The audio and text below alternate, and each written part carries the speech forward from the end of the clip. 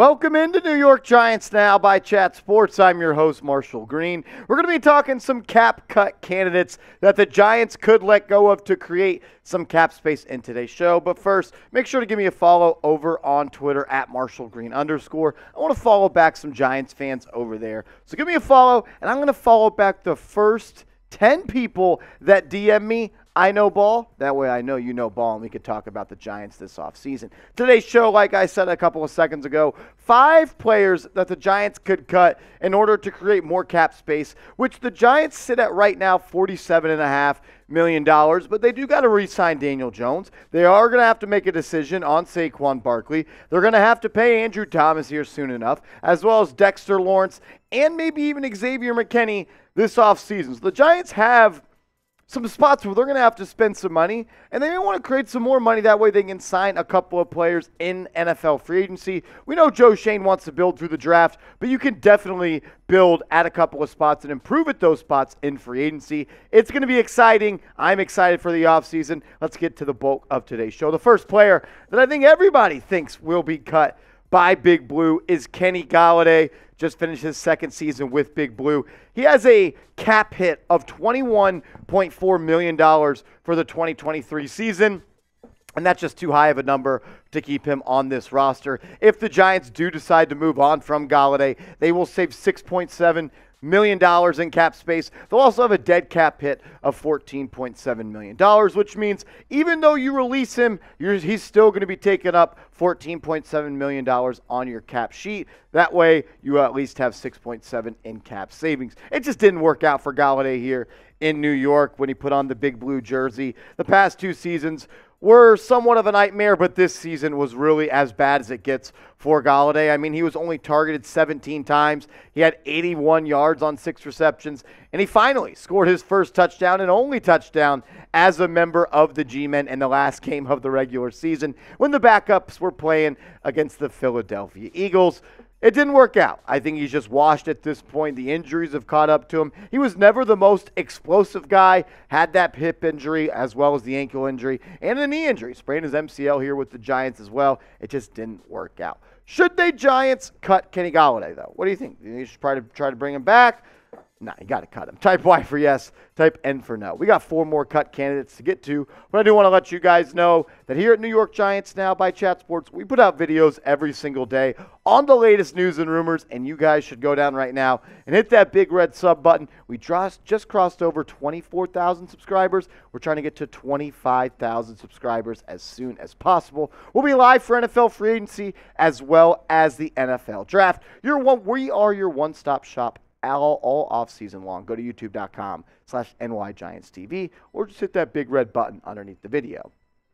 Cap num cap, cap cut candidate number two. A little bit of a tongue twister there. Maybe I should just get my shit together. Leonard Williams is a guy that I think the Giants could at least talk about moving on from.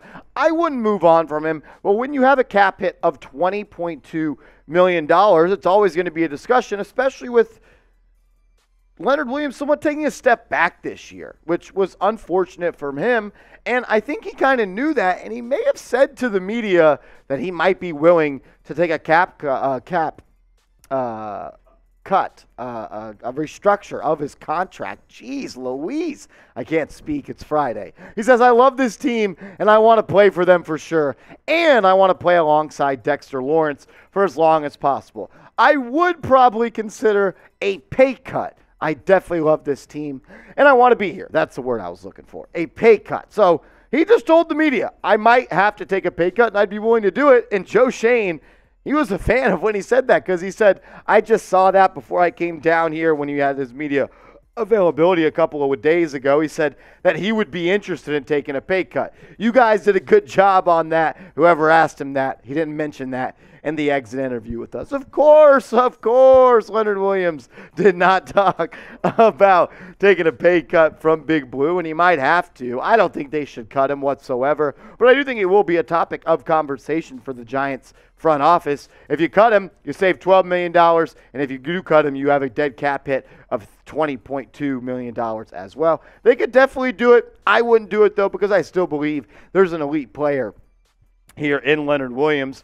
Only had 45 tackles last year, five tackles for loss, two and a half sacks, 33 QB pressures, but we never really got to see what this defensive line would have and could have been at full strength with Leonard Williams, Azeez Ojulari, Kayvon Thibodeaux, and Dexter Lawrence. I don't think those guys ever played a full four quarters together, and I'd love to see that next year. I think that could be a strength of this team, and I'd love to see Leonard Williams back. So I would decide to keep him. I would go down in the comment section and type Mike K for keep. I'd hold on to Leonard Williams, but I want to hear from the real ones right now. Let me know what you think. Is $20 million too much on the books? Type C for cut type K for keep. I want to hear from you down in the comment section. We got three more cap cuts to get to coming up in a second, but first, I want to tell you about our proud sponsor, Athletic Greens. Go to athleticgreens.com slash chatsports. That link is in the comments and description of today's show. I gave AG1 a try because I wanted better gut health and wanted a supplement that actually tastes great.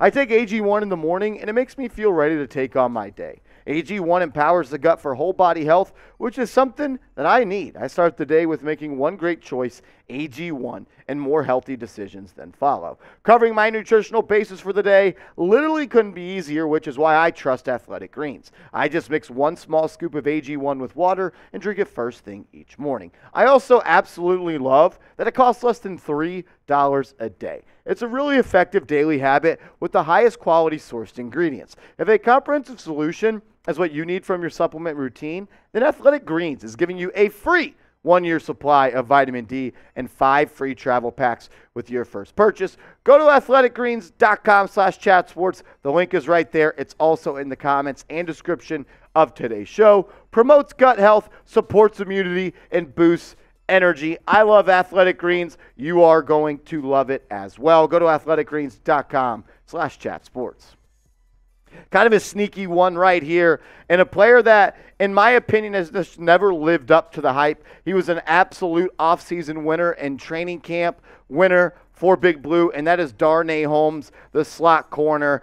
He has a cap hit of $2.7 million heading into the 2023 season. And if the Giants do select or elect, excuse me, to cut Darnay Holmes, they would have a full cap savings of $2.7 million and only a dead cap hit of 197K. So if you decide you want to move on from Darnay Holmes, you could do it really easily, and there's really not any negative on the cap going forward. I think he's a good player. I just don't know if he is a starting caliber, caliber nickel corner on an elite defense. So many times we saw him just get beat deep. I mean, he allowed 10.6 yards per catch this year. He had a PFF grade of 43.7. He allowed a completion percentage of 61.2 when targeted. Didn't have an interception. He's a great tackling and run stopping nickel corner, but I don't know if he's a guy that really can elevate a defense. The Giants have to get better in the back end, and if you get $2.7 million from him, Pair that with a couple more million dollars, you can get an elite starting inside slot corner.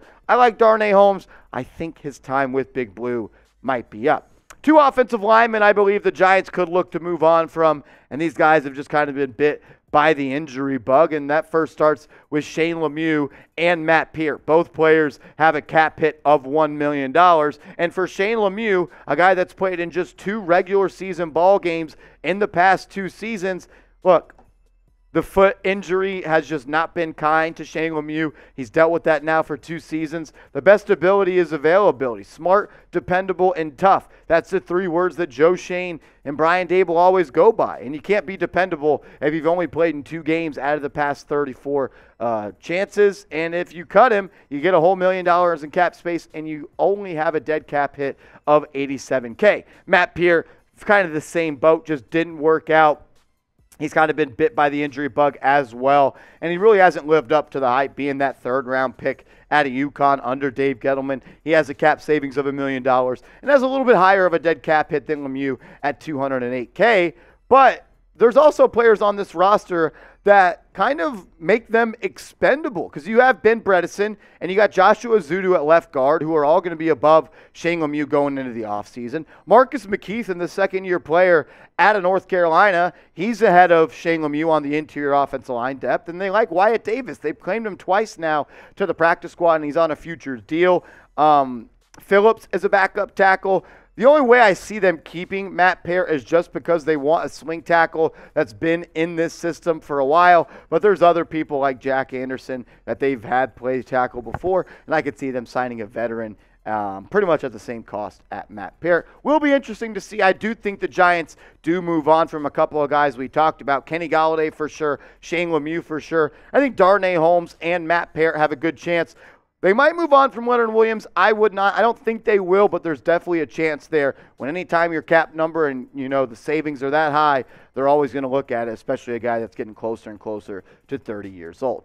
I gave you five guys. Maybe I'm missing someone, or maybe you agree with someone I talked about in today's show. I want you to name someone you think the Giants could cut to create more cap space heading in to NFL free agency, which is really about a month away at this point. I appreciate everybody for tuning in today. It's Friday afternoon here and uh, we're getting you guys a video. No other channel is doing that. Videos every single day. Also, make sure to hit me up on Twitter. I want to talk ball with some real ones. Send me that DM because the first 10 people that do, I'm going to give a follow back and we're going to start talking ball. Just DM me. I know ball.